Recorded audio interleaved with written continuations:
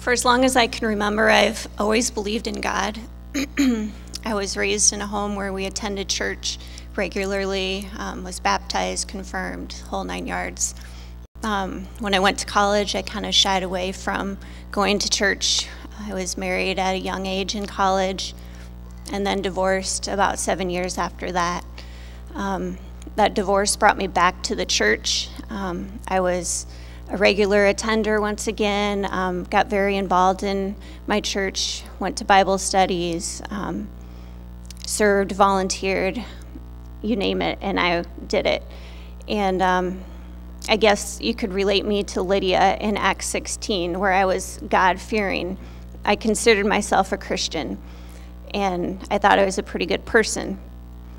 Well, then this summer, we were invited to come check out Saylorville, and um, we knew something was different right away when we got here.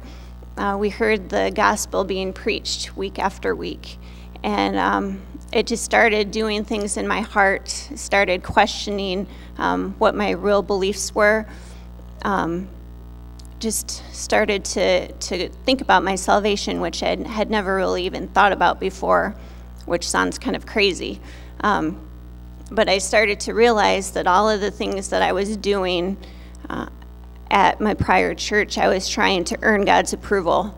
And when I wasn't serving, I felt a distance from God. Um, and I was, after hearing the gospel preached week after week, I started to realize um, there's a big missing part in my life, and that's Jesus.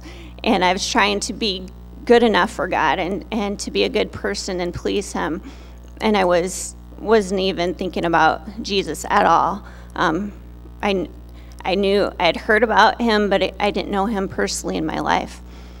Um, while I was trying to process through all this, I, at the same time, I was attending the Tuesday morning um, parenting class about um, dazzling your child with grace and trying to learn how do you um, how do you carry out parenting and raising your child through the gospel.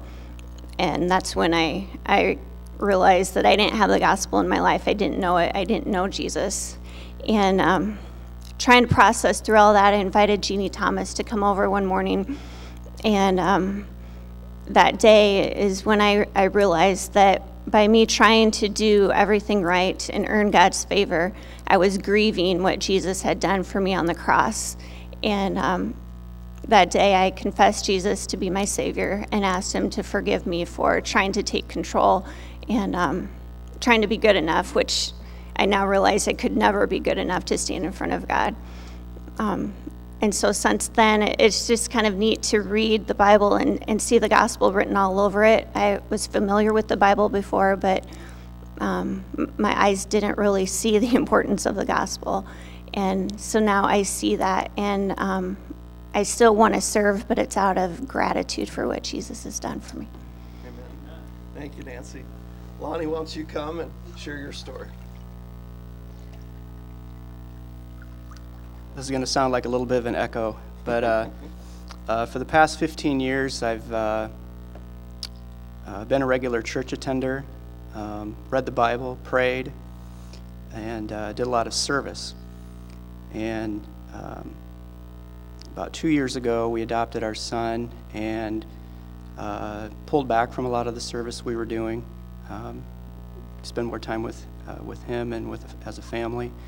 And uh, as a result of that, a sense of, uh, I'd say, dullness or a sense of routine set in.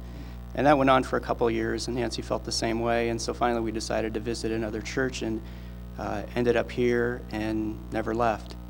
Uh, things, uh, as, we, as we came every week, things started jumping out at me like uh, the phrase highly religious and totally lost.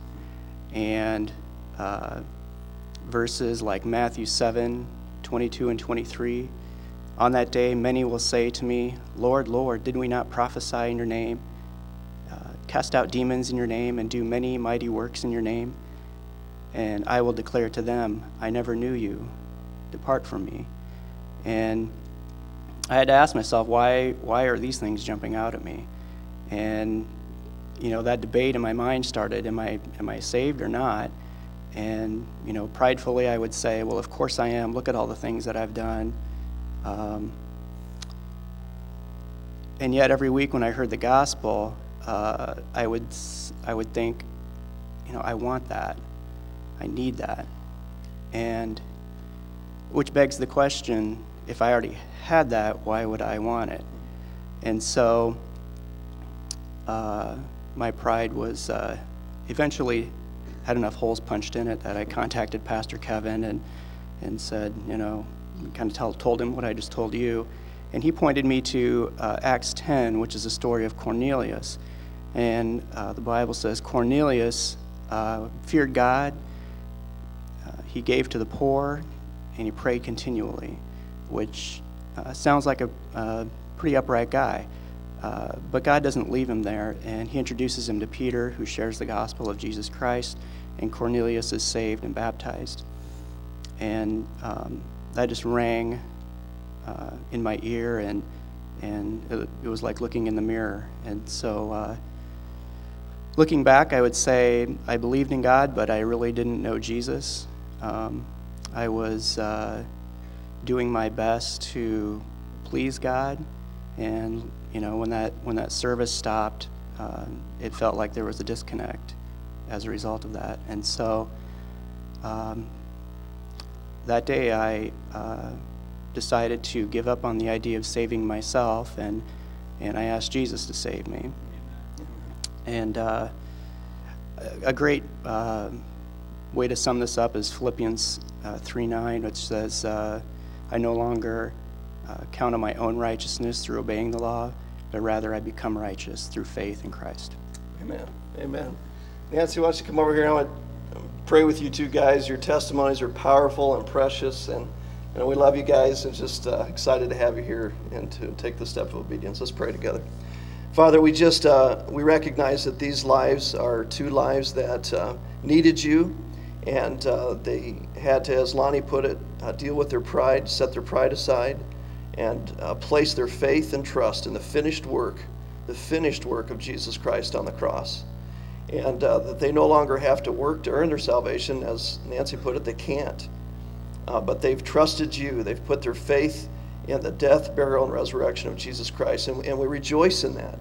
And uh, Lord, I just pray that you will just bless this home, that you will just fill them with joy, that you will continue to uh, help them understand now even the works that they do is out of gratitude, and uh, that you will lift them up. And may their testimony even just ring true to somebody here today who needed to hear their stories. So we thank you now for this family, and we just uh, pray in, in the name of Christ. Amen. Okay, Lonnie. Based on uh, your testimony of salvation, you can grab my hand here, make sure that you're, you got support. Based on your testimony of salvation and uh, your faith in Jesus Christ, I now baptize you in the name of the Father, the Son, and the Holy Spirit.